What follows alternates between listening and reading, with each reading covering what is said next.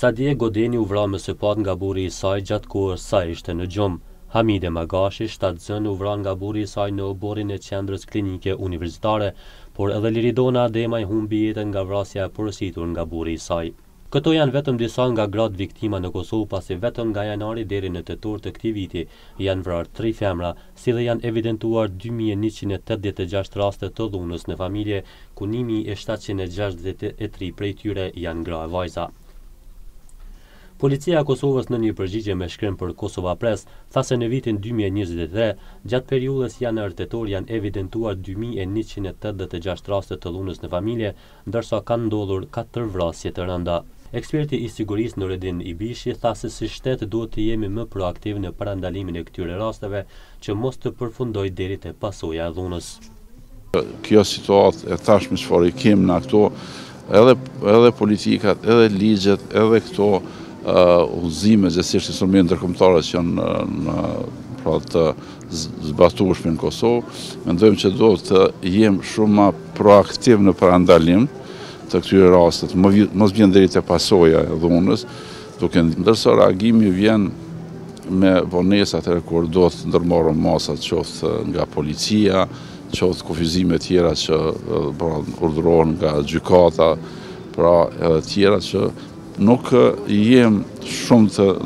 suksesshëm, kështu në aspektin statistikor apo trendet, po ka një ngritje ashtu të vogël, por edhe kjo duhet të të na vetëdijesojë. Ai u ndal edhe te rasti i fundit i vrasjes së Liridona Ademajt. Një rast jashtëzakonisht i rëndë, pra. Tash pa hy në analizë të asaj a ka mujt kjo të parandalohet, ngase nganjëherë. komunikimi, qoftë me familjarët, me mesht, me rrethin,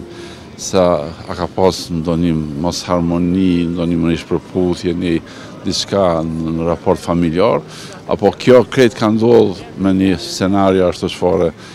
Ishte edhe një vrasje enigmatike në kuptim të përgatitjes me kryesit, bashkëkryesit, por edhe ajo çka një formë policia ia doli falë profesionalizmit edhe angazhimit maksimal për një. Psikologu Petrit Thaçi tha se vrasja është shpërthimi më i shëmtuar i instinktit dhe se kohëve të fundit kriteri i këtyre akteve ka humbur toruan. Vrasja është një dukuri realisht e shëmtuar Është zbrazja maksimale e një energjie problematike, negative, e botës njerëzore, është shpërthimi